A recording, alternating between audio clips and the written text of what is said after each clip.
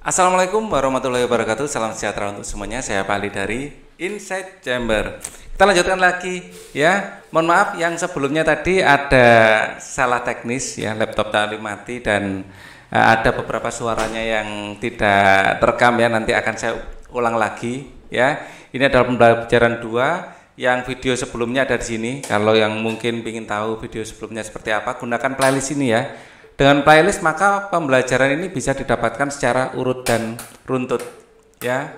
Nah, sebelumnya sudah dibahas ini ya yang ini di bawah sini loh banyak ya.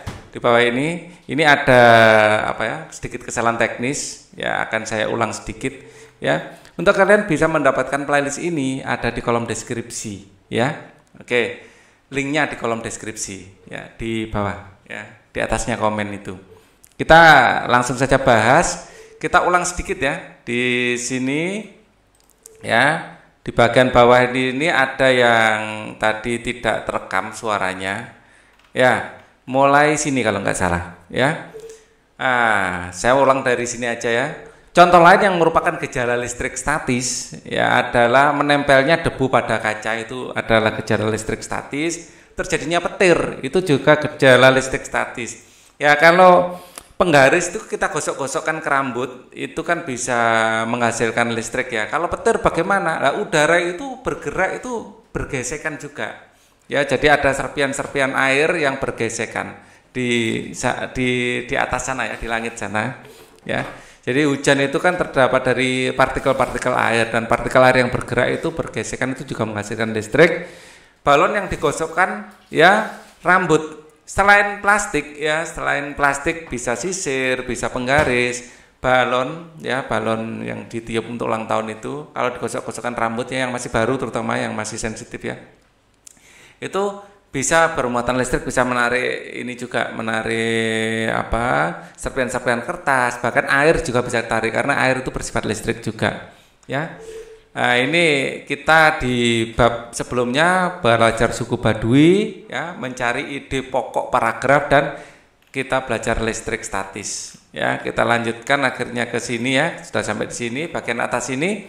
Mengapa budaya dan suku bangsa dapat berbeda dari suku lain? Misalnya kenapa suku Jawa itu sama-sama di Jawa Timur dengan Madura kok beda, dengan Bali kok beda? Karena letak geografisnya yang pertama. Ya, suatu daerah dan daerah lain saling terpisah sehingga jarang berinteraksi, terpisah oleh laut ya terutama ya. Ya. Itu yang menyebabkan berbeda. Ya, suku Jawa dengan Madura itu terpisahkan oleh Selat Madura. Jadi itu aja sudah menimbulkan bahasa yang dipakai sehari-hari pun perbedaannya besar, ya.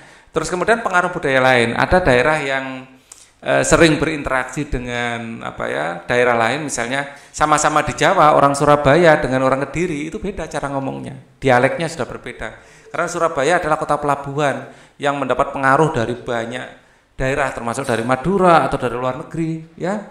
Nah, sebenarnya kan yang agak dalam Jombang, Kediri ya, Tulungagung gitu agak jauh, jauh dari pelabuhan akhirnya lebih anu lebih Jawanya itu lebih terasa. Cara ngomongnya itu lebih halus ya. Ya, ini pengaruh budaya lain itu eh, besar ya terhadap, per, per, eh, terhadap perkembangan budaya. Kemudian apa yang dimaksud dengan gaya listrik? Gaya listrik adalah tarikan atau dorongan yang disebabkan oleh listrik. Ya, nah muatan listrik sendiri ada dua, negatif dan positif. Kalau sama-sama positifnya atau sama-sama negatifnya, kalau sama itu saling tolak menolak. Tetapi muatan listrik yang berbeda, positif dengan negatif ya, itu akan tarik menarik. Nah, sekarang kita lanjutkan ini ada contoh ya. Contoh apa? Bagaimana kita me mencari tahu, menginterogasi ayah kita atau ibu kita ya dari mana sukunya, lagu yang sering dinyanyikan waktu kecil, daer lagu daerah itu apa ya. Oke, kita sekarang masuk pembelajaran dua. Salah satu keragaman budaya Indonesia adalah tarian. Nah, tarian ini sangat beragam ya sampai nggak hafal, hafalnya ya yang sekitar sini aja, Pak Ali. Apa tarian dari suku bangsamu? Ya, kalau Pak Ali sekali lagi adalah Jawa ya, Jawa Timur ya. Ya Jawa Timur pasti mengenal tari remo.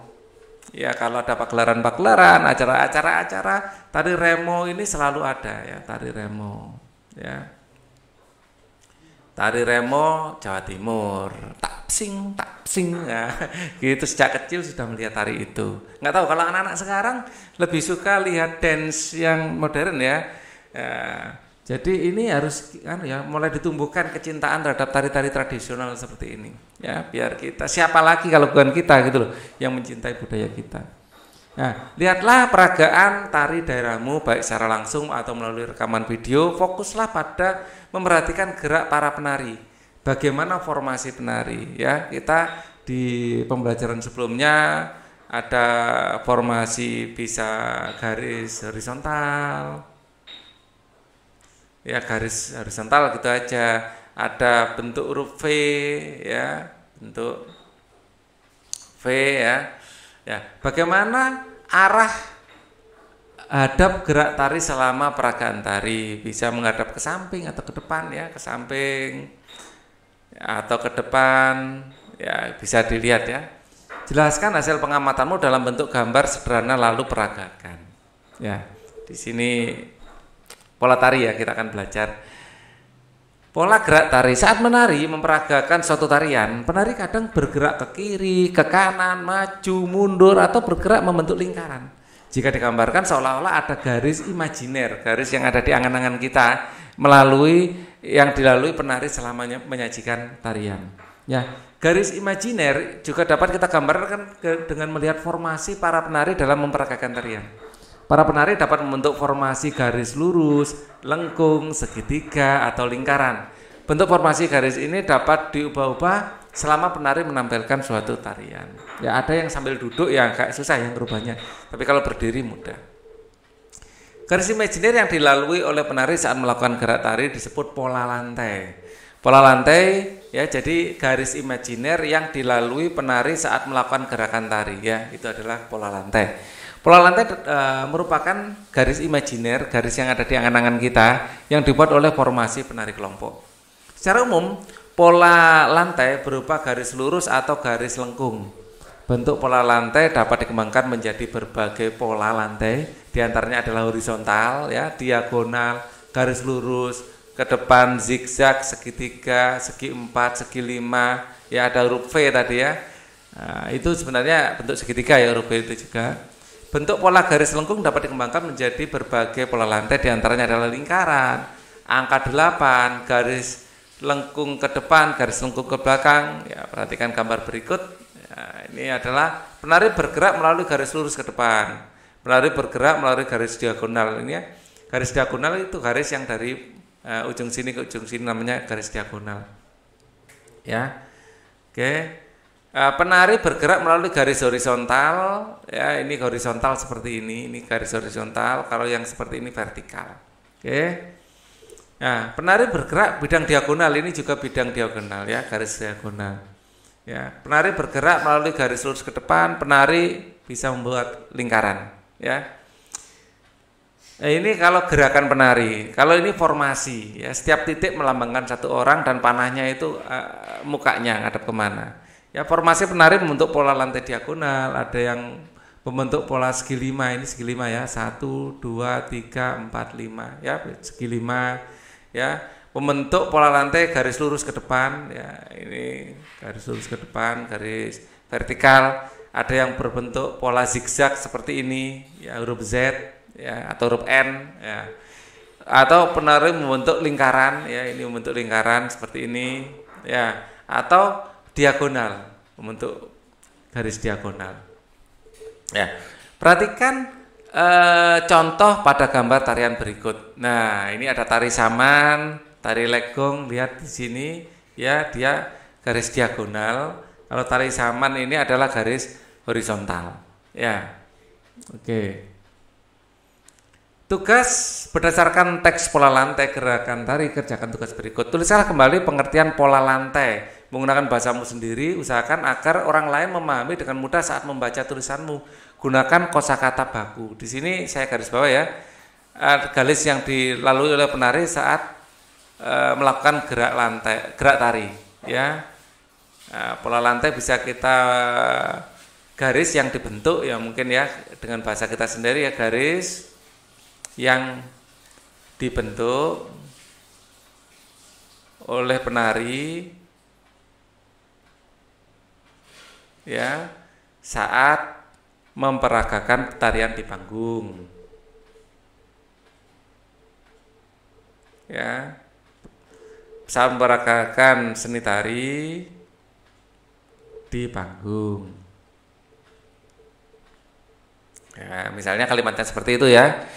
Uh, usahakan agar orang lain memahami dengan mudah saat membaca tulisanmu gunakan kata saya kosa kata yang baku ya Nah, cara penulisannya yang benar diawali dengan huruf besar. Ini Pak Ali kadang-kadang penulisannya juga kurang teliti ya.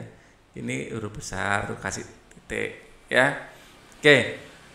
Gambarnya pola lantai yang terlihat pada gambar tarian teks tersebut ya. Pada gambar ini ada diagonal ya, diagonal. Di sini adalah horizontal ya, horizontal. Ya. Atau ini digambar ulang ya, pada teks ini digambar ulang. Jadi buku kalian tinggal mencontoh saja. Oke, pada teks pola gerak tari terdapat foto dari tari legong, penari penari legong membawa kipas. Kipas digunakan sebagai penunjang gerak tari dan unsur keindahan tampilan tari. Dalam kehidupan sehari-hari kita menggunakan kipas saat udara panas. Namun saat ini manusia banyak menggunakan kipas angin atau alat pendingin ruangan. Kipas, angin atau dan alat pendingin ruangan merupakan contoh alat elektronik yaitu alat yang bekerja menggunakan listrik. Nah, ini definisi elektronik yang lebih mudah ya daripada yang di KBBI tadi ya. Nah, alat yang menggunakan listrik, alat yang bekerja menggunakan listrik. Ya, sekarang tugas kamu telah membaca teks listrik statis dan listrik dinamis. Pengetahuan apa yang kamu dapatkan dari teks tersebut tuliskan dengan bahasamu sendiri. Ya. Jadi listrik statis dan listrik dinamis. Ada ininya ndak? Ada ruangannya ndak? Oh ndak ada ya. Kita tuliskan di sela-selanya sini aja ya. Jadi pada intinya ada dua listrik. Ya. Kamu telah membaca teks listrik statis dan dinamis. Pengetahuan apa yang kamu dapatkan dari teks tulis dengan bahasamu sendiri. Carilah contoh lain menggunakan listrik statis ya kita lihat teksnya. Listrik statis adalah ini. Listrik statis dan dinamis ya. Jadi kita akan apa menuliskan lagi listrik statis dan listrik dinamis. Oke. Kita cari ruangan kosong ya. Di kita bikin halaman baru aja di sini ya. Sebentar butuh waktu untuk membuka. Ya. Kita akan menulis teks listrik statis dan dinamis. Listrik statis dan dinamis. Nah, ini perlu saya sesuaikan. Ya. Statis dan dinamis. Ya. Listrik ya, adalah fenomena alam. Ya, di sini listrik adalah fenomena alam yang disebabkan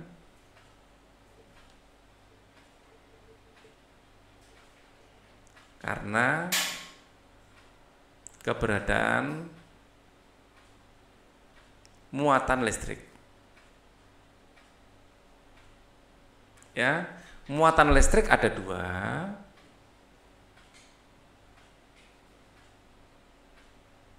Ada dua yaitu muatan listrik positif atau kita sebut proton dan muatan listrik negatif. Negatif ya ini dalam tanda kurung. Atau kita sebut sebagai elektron. Ya. Listrik dibagi menjadi dua. Ya listrik dibagi menjadi dua. Ya bukan muatannya ya listriknya sendiri. Istilah listrik dibagi menjadi dua yaitu listrik statis dan dinamis. Listrik statis adalah ya, listrik statis adalah ya listrik yang tidak bergerak.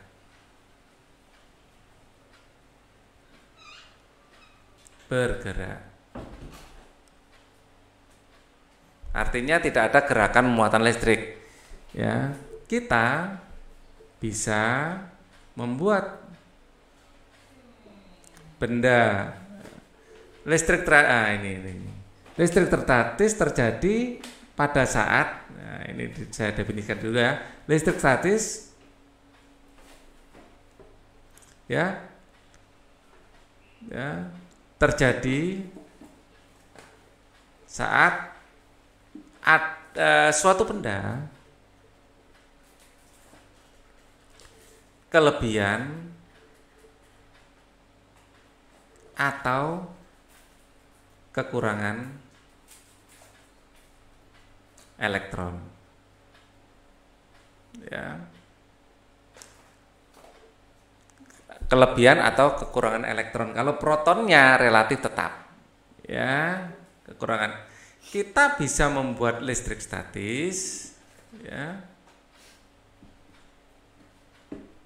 Membuat listrik statis dengan menggosokkan menggosokkan eh, penggaris pada rambut kita. Ya. Pada saat eh, atau langsung saja ya biar nggak kalimatnya eh, nggak terlalu panjang sehingga elektron dari rambut kita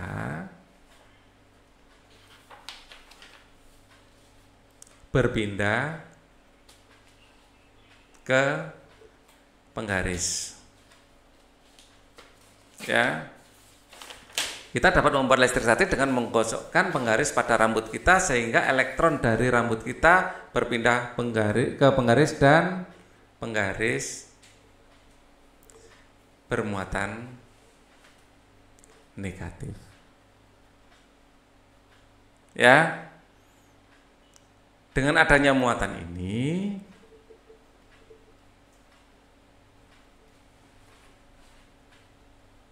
maka penggaris bisa menarik serpian kertas. Nah, ini bisa dijelaskan lebih lanjut kenapa proses menariknya, tapi saya khawatir ini nanti akan jadi terlalu panjang. Ya, saya cukupkan sini dulu. Terus listrik dinamis sekarang. Listrik dinamis ya adalah listrik yang ya listrik dinamis adalah listrik yang bergerak. Ya listrik yang bergerak. Ya adalah listrik dinamis adalah listrik yang bergerak. Ya ini dapat eh, ini terjadi pada lampu listrik ini terjadi da, ini dapat kita temui dapat kita temui pada listrik PLN atau listrik rumah atau pada eh, lampu senter. Ya. Apabila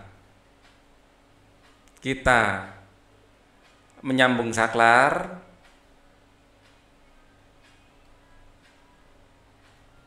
Ya, posisi on maka arus listrik akan mengalir. Ya, mengalir. Dan lampu bisa menyala. Sudah sampai sini aja ya. Nah, apabila bila ditambahkan apabila di off kan ya ditekan saklar off maka listrik tidak akan mengalir dan lampu padam itu bisa ditambahkan.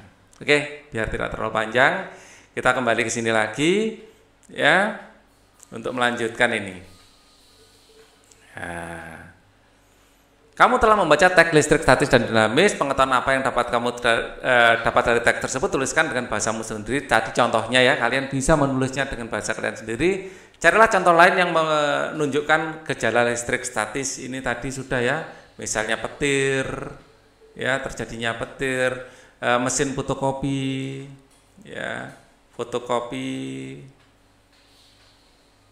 ya fotokopi pakai K saja, fotokopi ya e, misalnya pada balon yang digosok rambut ya.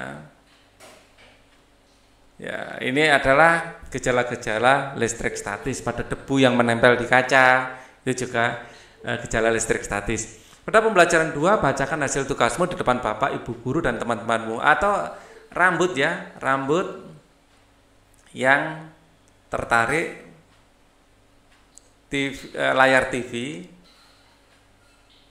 yang baru dimatikan.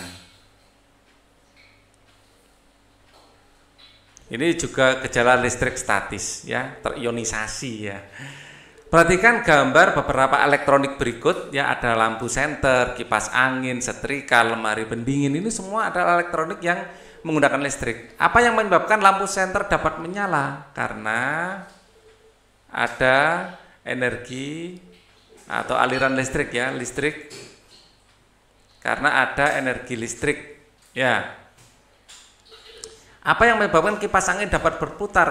Sama ya karena adanya energi listrik boleh ditambahkan yang mengalir. Apa yang menyebabkan setrika menjadi panas sama ya karena adanya energi listrik. Tanpa adanya energi listrik yang dicolokkan, ya tidak akan bisa menyala. Ya, apa yang menyebabkan air dapat membeku pada lemari dingin? Nah, kalau ini ceritanya sebenarnya lebih panjang ya. Ya, boleh diartikan karena dibantu energi listrik tapi tidak sesederhana ini sebenarnya ya tidak langsung. Kalau dingin, kalau panas langsung listrik kena filamen panas. Tapi kalau dingin di situ ada melibatkan freon ya. Tapi semuanya itu digerakkan oleh listrik ya. Jadi ini sebenarnya e, karena dibantu energi listrik itu tidak apa-apa. Ya karena adanya energi listrik itu boleh juga ya biar jawabannya menjadi sederhana ya. Jadi 1 sampai 4 jawabannya sama ya karena adanya energi listrik atau arus listrik yang mengalir ya. Boleh alternatif jawaban 1 sampai 4 ya karena adanya arus listrik yang dialirkan pada alat tersebut Nah, ini juga bisa dijadikan alternatif jawaban. Terserah mau yang mana. Peralatan elektronik dapat bekerja dengan adanya aliran arus listrik. Arus listrik mengalir dari kutub positif menuju kutub negatif. Energi listrik dapat diubah menjadi energi lain. Saat arus listrik mengalir melalui bohlam, bohlam akan menyala. Energi listrik berubah menjadi energi cahaya. Energi listrik dapat diubah menjadi energi gerak saat arus listrik mengalir melalui melewati motor dalam kipas angin, motor akan berputar dan menggerakkan bilah-bilah kipas angin. Saat arus listrik melewati elemen pemanas dalam setrika, elemen akan menjadi panas dan listrik berubah menjadi energi panas. Pada lemari pendingin, arus listrik akan memutar motor pada mesin lemari pendingin dan membuat bahan pendingin bekerja. Nah, motornya itu kita menyebutnya sebagai kompresor. Suatu saat kita akan pelajari ini juga, sabar ya, itu pelajaran SMP. Saat ini uh, alat elektronik menjadi kebutuhan manusia untuk mempermudah kehidupan. Di rumah dan di sekolahmu tentu kamu menggunakan berbagai alat elektronik. Lakukan tugas berikut secara berkelompok. Tugasnya adalah tuliskan beberapa peralatan elektronik yang kamu ketahui beserta fungsinya tuliskan dalam bentuk tabel lampu sebagai alat penerangan dua setrika untuk merapikan baju untuk melicinkan melicinkan baju. E, tiga kipas angin. Menurunkan suhu ruangan. Suhu ruangan. Ya biar sejuk ya. Apalagi AC ya. AC air conditioner atau kita sebut cukup AC gitu aja ya. Mendingin menurunkan suhu ruangan ya sama ya menurunkan fungsinya sama. Suhu ruangan. Kemudian nomor 5 misalnya rice cooker. Penanak nasi listrik ya. Untuk menanak nasi. Kita punya blender atau uh, kulkas ya mendinginkan makanan. Mendinginkan makanan atau minuman. Terus nomor tujuh mungkin kita punya blender. Ya menghancurkan buah dan sayur ya menghancurkan buah atau sayur. Ya. Kemudian ada mixer untuk membuat roti. Membuat mengaduk roti, membuat adonan roti ya, membuat adonan roti atau mengaduk adonan roti.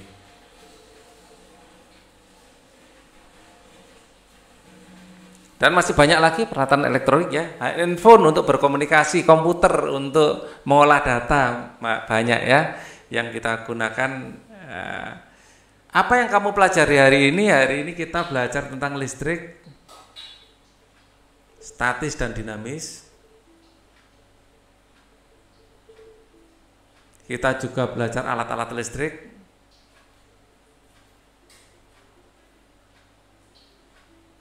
Ya, kita juga belajar tentang itu ya budaya tadi ya, apa seni tari, pola lantai.